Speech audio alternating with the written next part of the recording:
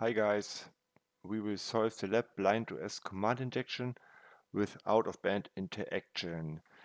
The goal of this lab is to exploit the blind2s command injection vulnerability to cause a DNS lookup to the public web collaborator server.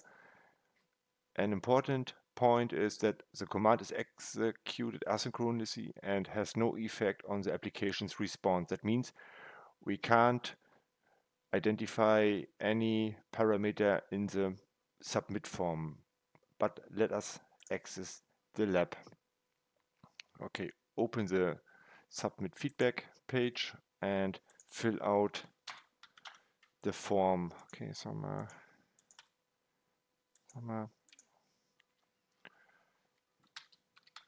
subject one, oops, subject one and message one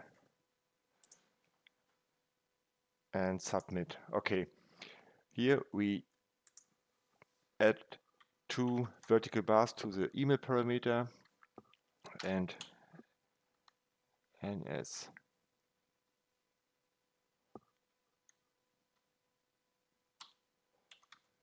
lookup plus and open the Burp collaborator,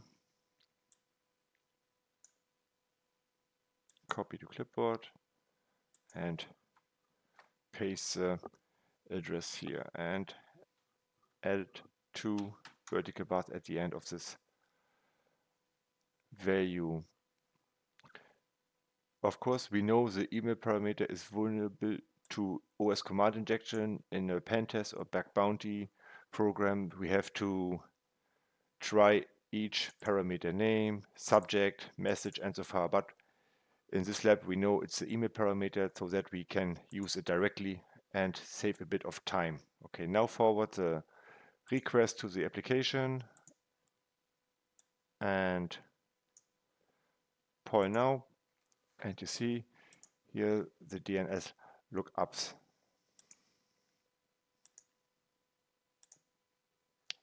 and we solved the lab.